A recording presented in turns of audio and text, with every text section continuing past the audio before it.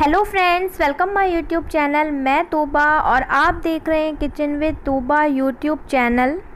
अगर आपको मेरी वीडियोस अच्छी लगती हैं तो जो लाल सब्सक्राइब का बटन है, इसे दबाएँ और जो बराबर में बेल आइकन का बटन है, इसे दबाने से मेरी वीडियोस की नोटिफिकेशन आपको मिलती रहेगी।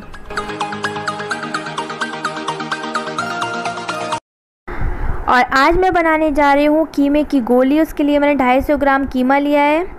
एक टेबल स्पून मैंने चाट मसाला लिया है, एक टीस्पून साबुत धनिया लिया है, नमक अपने टेस्ट के अकॉर्डिंग एक टीस्पून मैंने मिर्चें ली हैं, हरा धनिया बारीक काट लिया है, दो हरी मिर्च लिए उन्हें भी इस तरीके से काट लिया है, एक मीडियम साइज़ प्याज लिए और मैंने ज़ीरे को और मेथी को भून के अच्छी तरीके से पीस लिया एक टेबल स्पून लिया है इसे, और मैंने गरम मसाला एक टीस्पून लिया है और अब हम बनाना स्टार्ट करते हैं कीमे की गोली। अब मैंने ये कीमा लिया है और अब मैं इसमें सारे मसाले डाल दूँगी और अच्छे से इसे हमें मिक्स करना है। इस तरीके से मैंने धनिया, मिर्चें, लाल मिर्च, नमक और सब कुछ हमने इसमें डाल दिया है। प्याज वगैरह सब जो भी मैंने मसाले बताए थे सब इसमें अच्छे से डालने हैं और इसको अच्छे से मिक्स करना है। इस तरीके से। ये देखिए, सब मैंने इसमें मिला दिया है और इसको अच्छे से हमें मिक्स करना है। ये देखिए मिक्स हो चुका है अच्छे से। ये देखिए, इस तरीके से। आपको इसे 10 से 15 मिनट तक रखना है थोड़ी देर के लिए। और पाँच मिनट बाद हम इसमें बेसन डालेंगे। मैंने एक कटोरी बेसन लिया है, उसको भी इसी में डालना है मिक्स करना है। ये देखिए, इस तरीके से इसे इसमें मिलाना है मिक्स करना है। और अच्छे से इसे इसमें मिलाना है, इस तरीके से। ये देखिए, अच्छे से। और अब ये थोड़ा इसमें बेसन लग जाता है, छूटता नहीं है तो हल्का बहुत थोड़ा सा पानी लेके सबको अच्छे से इसमें से हटाना है और इसमें से इसे मिलाना है कीमे के साथ। ये देखिए, सब अच्छे से मिल चुका है। अब हमें इसकी गोली बनानी है। और हमने इसे 10 मिनट तक फिर रखना है बेसन लगा के। अब मैंने तेल लिया है। तेल को अच्छे से कर लिया है गरम।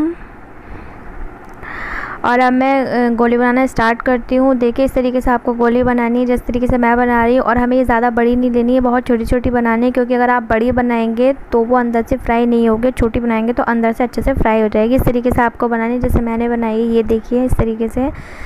आपको एक और बना के दिखाती हूँ।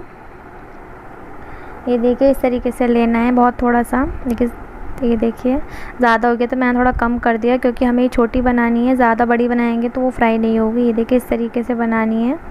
ये देखिए, बन के तैयार हो चुकी है, सारी इसी तरीके से बनानी है। देखिए फ्रेंड्स, सारी बन के तैयार हो चुकी हैं, आपको भी इसी तरीके से बनानी है। छोटी छोटी और ये सब तैयार हो चुकी है और अब हम इसको करेंगे फ्राई।